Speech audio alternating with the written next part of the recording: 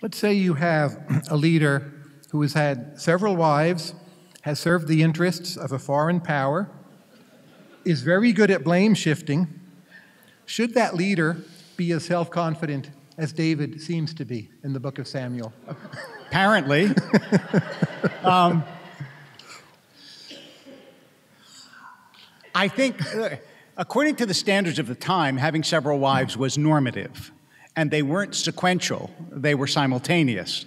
Um, so, as, as my friend Joseph Telushkin says, polygamy does exist in the Bible, it's just never successful. Um, so, David does have many wives and very strained and interesting and complex relationships with women. David has the most complicated and most described relationships with women of any character in the Hebrew Bible. Um, those qualities that can be negative um, in David are to some extent positive.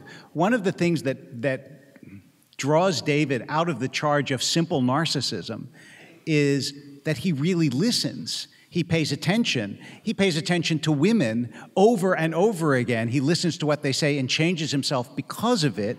And that's not a characteristic of men in the ancient world or the modern one.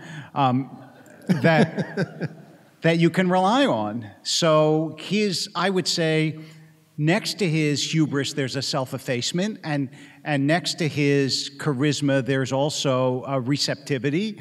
And yeah, in the, in the complex of his personality, um, you can understand why people might look at him sort of to draw a very different political figure, the way that at some point, I think it was Seward said about Lincoln, which is he's the best among us.